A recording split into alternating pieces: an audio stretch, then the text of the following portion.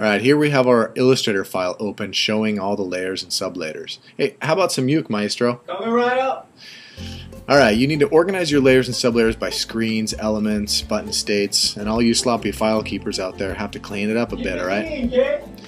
The Illustrator file then opened up in Flash Catalyst we'll be able to see all the assets that are maintained exactly how they were in Illustrator. All the layers are ready for the magic to begin, turning on and off for how we want our animations to be. So we want to start off with a quick overview of Adobe Catalyst. At the top left we have states which represent our different screens for the application. Layers similar to Illustrator.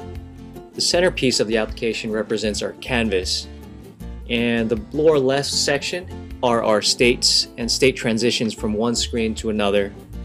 We also have changes that have taken place between each state or each screen, as well as different easing and animation functions for each change. Hey, can I get a button? Next, let's create a button by selecting the three layers of the button, creating a toggle button. We're going to set those layers visible or invisible for the up, down, and over state.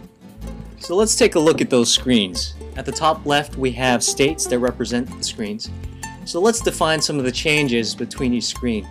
Essentially the same as buttons, we hide show different layers, different content. And let's also add some animation. The lower left we have the transitions between each state. So we're going to select one of the changes that Adobe Flash Catalyst recognizes. And we're going to change the fading effect. We're going to shorten or lengthen that effect by grabbing the handle and dragging it left and right like so. Let's get pixel perfect. Now it's time to export this file, put it in a browser, and see what we've got.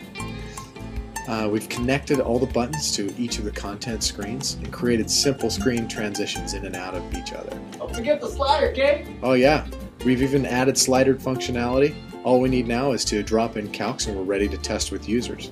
Most importantly, it's all done in the time it takes to fetch a greasy burger down from the cafe. Tweet it.